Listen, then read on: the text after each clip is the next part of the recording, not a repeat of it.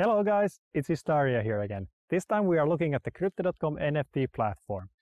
NFT stands for non-fungible token, and while the technology is still young, I expect great things from it in the future. For example, your house and my house are both houses, but they are not the same.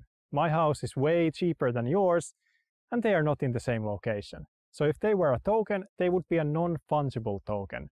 In fact, I wouldn't be surprised if I was able to put my house up as an NFT on the blockchain in the not so distant future.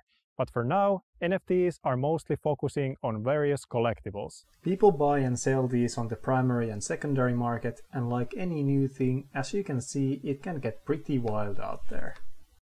Anyway, let's go and take a look at how the Crypto.com NFT platform works.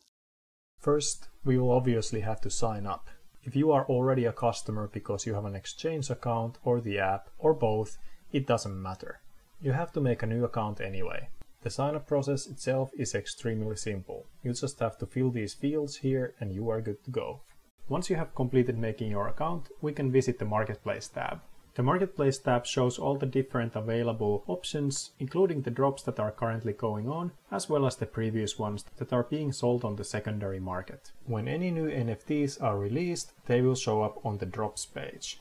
Here, things are listed at a specific price and you can buy them outright. Let us buy one that is currently running for demonstration's sake, so you can see what the process looks like.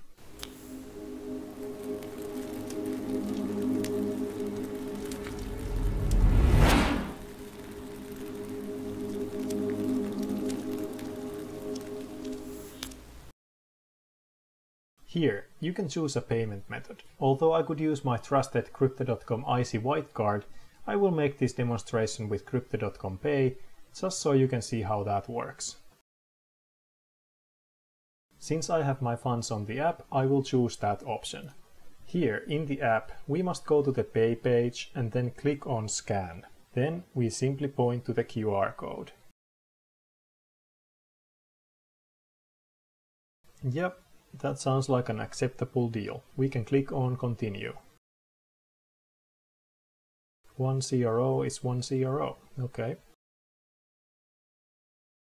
My payment is done. I now own an NFT. Let's go take a look.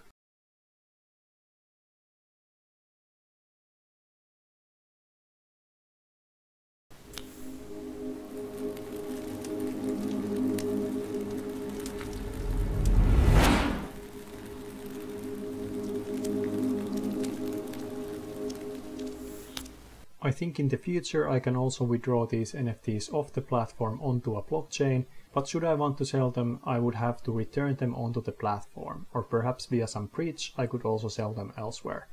This functionality is still in the works, but I expect it to be around quite soon. The site is very easy to navigate and overall I do not expect you to have any trouble using it should you want to get one of these NFTs. Well, that's it for this video. For my next video, I got something really interesting you don't see every day cooking up, and I hope it won't be that long until I get to post it, so don't miss it. YouTube will let you know if you subscribe, just saying.